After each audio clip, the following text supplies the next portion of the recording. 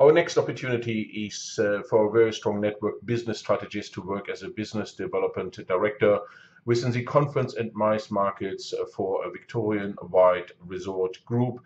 And for this, we want someone who has a really good understanding of country retreats and resorts, has the ability and the network within their conference and MICE network, has really a true understanding of the PCO markets, highly networked, highly active, and has a fantastic uh, personality and communication skills to spearhead the operation in regards to sales.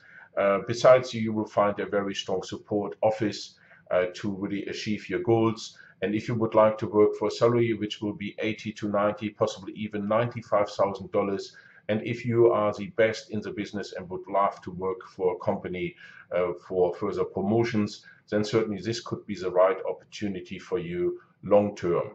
If you have interest, please forward me your resume to ak at manhattangroup.co. Looking forward to speaking to you in the very near future.